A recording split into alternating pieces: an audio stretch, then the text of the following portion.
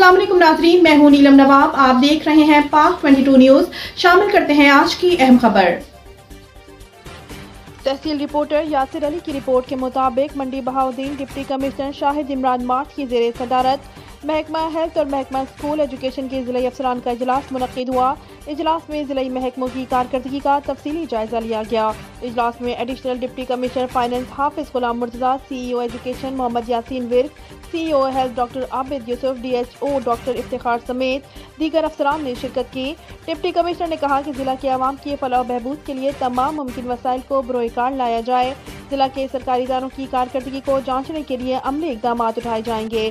Deputy commissioner ने मजीद कहा कि सरकारी महकमों के सरबराहान और एहलकारान दफातर में अपनी बर वक्त हाजिरी यकीनी बनाए और ताकि सरकारी अमूर के हल के लिए तफातर में आए हुए लोगों को इंतज़ार की जहमत से दो चार ना होना पड़े।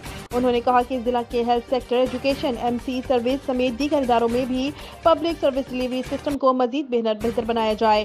ज़िले महकमों के सरबराहान व को रिलीफ की फरहमी के लिए मेरिट और दयानंदारी को अपना शियार बनाए। दफातर में करप्शन से पाक माहौल की फरहमी को यकीनी बनाए।